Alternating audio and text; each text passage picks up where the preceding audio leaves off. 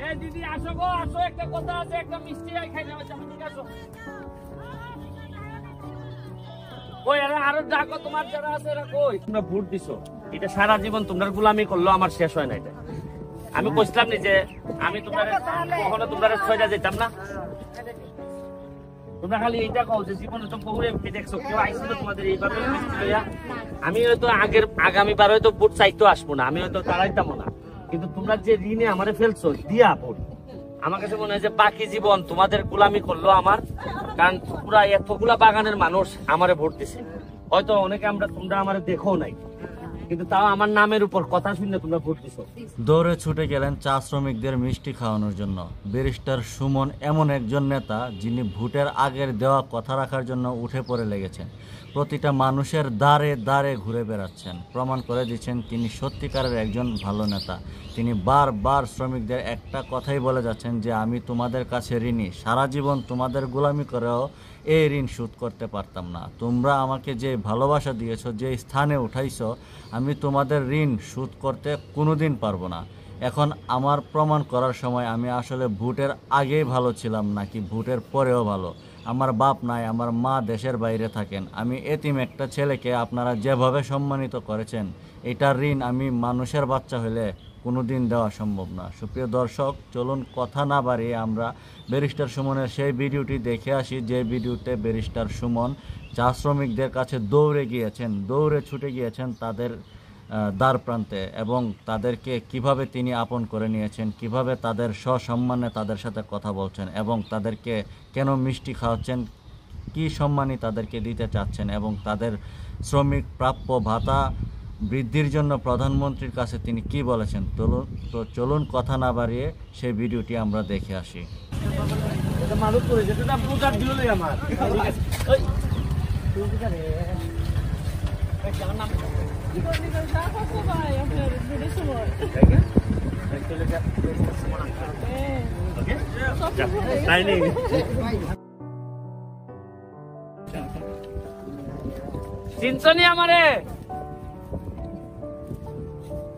আসুন।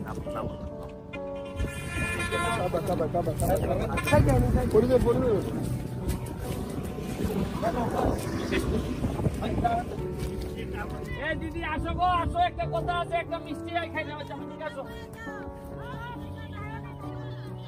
কই আরে আরও ডাকো তোমার যারা আছে এরা কই? তোমরা ভোট দিছো। এটা সারা জীবন তোমরা গোলামি করল আমার শেষ হয় না এটা। আমি কইছিলাম নি যে আমি তোমরা কখনো তোমরা ছয়টা যেতাম না। খালি এইটা কও যে তোমাদের এইভাবে আমি হয়তো আগের, আগামীবার হয়তো ভোট চাইতে আসব না, আমি হয়তো তাড়াইতাম না। কিন্তু তোমরা যে ঋণে আমারে ফেলছো, দিয়া ভোট। আমার কাছে মনে হয় যে বাকি জীবন তোমাদের গোলামি করল আমার, কারণ পুরা এতগুলা বাগানের মানুষ আমারে ভোট দিছে। হয়তো অনেকে আমরা, তোমরা আমারে দেখো নাই। কিন্তু তাও আমার নামের উপর কথা শুনে তোমরা ভোট দিছো ওই হরতালের সময় ছিলাম হরতালে। এই কারণেই মানুষ আমি এরা মন জয় করতে পারছি। এই জন্যই কইছে যে আচ্ছা না ব্যারিস্টার ভালো লোক এই জন্যই তো ভোট দিছে আর এখন এটা আমার প্রমাণ করার সময় যে আসলে খালি ভোটের আগেই ভালো নাকি না ভোটের পরেও আমি ভালো? কারণ আমার তো আরও পাঁচ বছর বাকি আছে। যদি আমি নির্বাচন না করি তো তার দরকার নাই আমার। আসো দিদি। পাইছো আর যেহেতু আইসি যে গো দিদি আশীর্বাদ রাখো। আর কিচ্ছু চাই না আশীর্বাদ রাখো যাতে মানুষে আমারে খারাপ না কয় মানুষের টাকা যেন আমি না মারি কথা বুঝছ রে?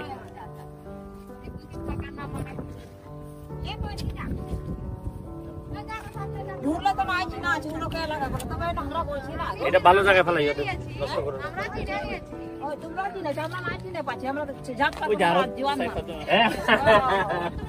এই, আর কই দিদি কই? আয় গো দিদি। আচ্ছা শোনো, আমার তো আরও কাজ আছে, আমি আরও দুই প্যাকেট দিয়ে যাইগা তোমরা একজন কে দায়িত্ব নিবে? পাঁচশো টাকা দিব যে দায়িত্ব নিয়ে সবাই মিষ্টি খাওয়াবে কেটাই খাওয়াবে কও? হ্যাঁ? এই যে দিদি নাও এই দিদিরে পাঁচশো টাকা দাও আর ওই মিষ্টির প্যাকেট দিয়ে যাও দিদি দিদি আমার কাছে আসেন গাড়ি থেকে দুই কারণ মিষ্টি দিয়ে দিতে আছে এরা এখানে একজন নিতে পাঠাও দিদি কষ্ট করে দিতে ওই এক ছেলে আছে আই না রে তুমি লজ্জা পাও না না আমি পাইছি না ও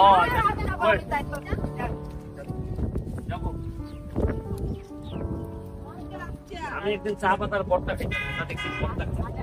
হ্যাঁ? জানি চা পাতারে কি করে করে ডাল ডাল দিয়ে আমার একটু খাওয়াই দাও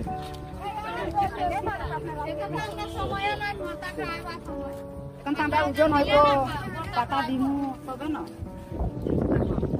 আর আছে আর আছে কেউ? এটা দাও বাক্স। শোনো গো দিদি। জায়গা আর একটা জিনিস শুনো খালি মিষ্টির জন্য না।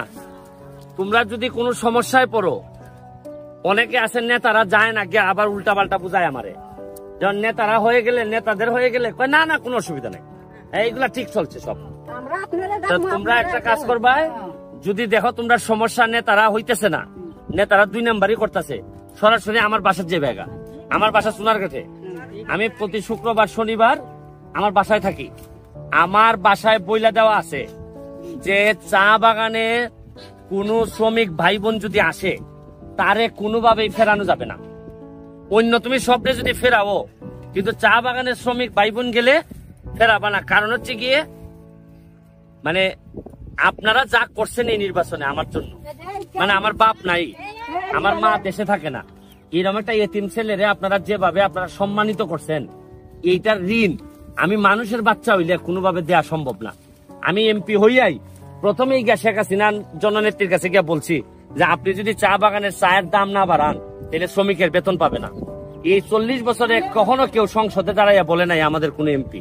আপনার ছেলে মেয়েরে জিগাইয়েন যে আমি চেষ্টা করে যাচ্ছি যাতে আপনাদের জীবন মান উন্নত। এই যে এখানে একটা কি বানাইছি, দেখছেন আপনারা? ওই যাত্রী ছাউনি বানাইছি। বানাইয়া চা বাগানেরই একটা লোককে দিয়া কইছি, তুমি এখান থেকে ইনকাম করবা করে তোমার সংসার তুমি চালাইবা। আরেকটা করছি চন্ডী রামগঙ্গা।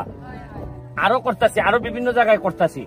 আমার কথা হইল, এই জায়গাটারে আমি একটা পর্যটন নগরী বানাইমু। যাতে তোমরা যারা চা বাগানে কাজ করো, করবা, আর তোমাদের যারা ছেলে মেয়ে চা বাগানে কাজ করবে না, এরা যেন বাহির থেকে পর্যটক আইলে এদের মাধ্যমে ইনকাম করতে পারে টাকা। তাইলে হবে কি, শুধু চা বাগানের উপর আর নির্ভর না। তুমি তখন অন্য জায়গা থেকেও তোমার আয় ইনকাম আইব। কথাটা বুঝছ নি? আর কতদিন সারা জীবনই এইভাবে করবা, কেউ তো তোমাদের ভাগ্য উন্নয়ন চায় না। এরা খালি চায়, বছরের পর বছর খালি ভুট্টা দিলাও। তুমি আমার পঞ্চাশ বছর অনেকের বয়স আছে আমার থেকে বেশি। খালি সারা জীবন এরা ভুট্টাই নিয়ে গেছে। কিন্তু দেয়ার মতো কি দিছে আমার এটা কো তোমাদের দেখা যায় বেশিরভাগ বাগানে মন্দির নাই। বেশিরভাগ বাগানে আমার কয় নাচ নাচ মন্ডল নাই। এরপরে কয় পানি নাই রাস্তা নাই ব্রিজ নাই। তাহলে পঞ্চাশ বছরে তো তুমি তাদেরকে স্বর্ণের হার দাও নাই গয়না দেও নাই সামান্য মন্দির তো বানাই দিতে পারো নাই। এর- এরার কত হইল কি জানো?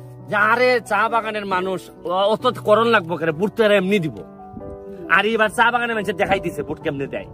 এই জন্য এ- এক ভদ্রলোককে বাড়ি পাঠাইয়া একেবারে ঢাকা পাঠাই দিছে। না গো দিদি? তো এটা দিয়ে দিও। আর দিদি পাঁচশো টাকা নেন আর দিদি টাকা দাও দাও। সে জায়গা ধরেন।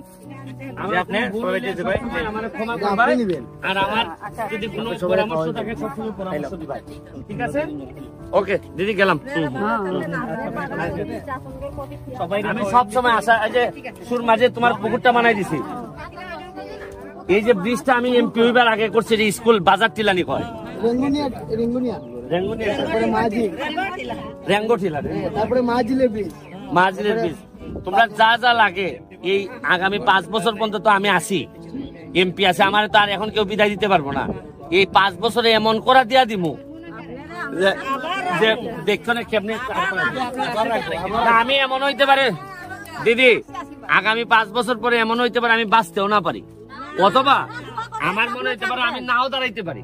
আমার কথা হইল যে আমি এমপি না থাকলেও আমার গাড়ি দেখলে তোমরা যেন দাঁড়াই আইসা দৌড়াই আইসা বলো যে আমার ভাইটা আইসে সব সময় এমপি থাকা লাগবো তা না। কিন্তু তোমরা যেন আমার একটু বুঝো যে এটা আমার মানুষ। এটা আমার ভাই এটা আমার ছেলে। ওর কাছে গেলে কোনো না কোনো একটা পথ বার হইবো, আমি এটা চাই। আমি এমপি মানুষ সারা জীবন থাকতে যদি তোমরা আমার না ডাকো তোমরা আমার দেখলে যদি মুখটা ঘুরাই চলে যাও তো এমপি হওয়ার কোনো দাম নাই। ঠিক আছে দিদি গেলাম।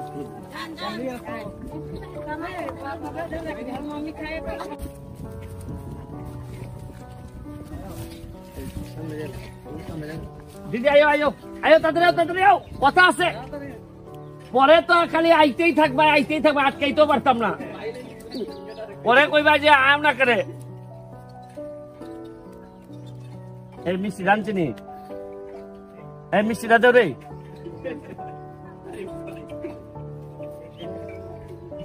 হ্যাঁ, হ্যাঁ, এটা বুঝছে না।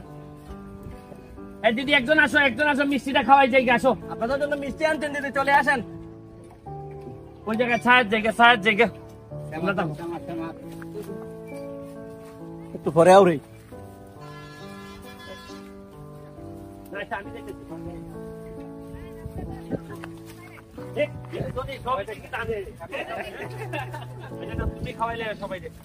আমি এখন জায়গায় আমার এই মাধবপুরে একটা প্রোগ্রাম আছে। আর আসল কথা হইল যে এমপি হইবার পর তো জনে জনে তো যাইতে পারতেছি না। আর এই যে এদিকে যাওয়ার সময় যারা এই রাস্তায় পাই সবাই মিষ্টি খাওয়াই যায়। কারণ আমার কথা আমি তো আরও পাঁচ বছর আছি এমপি পাঁচ বছরে যদি পঞ্চাশ বার আসা যাওয়া করি, তাহলে তো তোমাদের সাথে একটা সম্পর্ক হয়ে গেল। আর ভয় ভাঙ্গাই তুই কত? তাহলে আমার কাছে চাইতে হয় না তো। আল্লাহ কাছে প্রার্থনা করি আপনার মতো যেন কারণ- তোমার নেতারা আছে না সব কথাকে আমারে কয় না। তোমার কাছ থেকে আমি যে কথা পাইমো তোমার নেতারা কয় না সব। নেতারা তার লাভেরটা লাভের চিন্তা করে। আমি চেষ্টা করব তোমাদের একেবারে মাঠে আইসা তোমাদের কি সমস্যা জানার। এই যে দেখো তোমাদের পুকুরটা বানাই দিচ্ছি আমি। ওই যে তোমরা বিসর্জনের জন্য যেটা। এটা নিমাইটিলা না?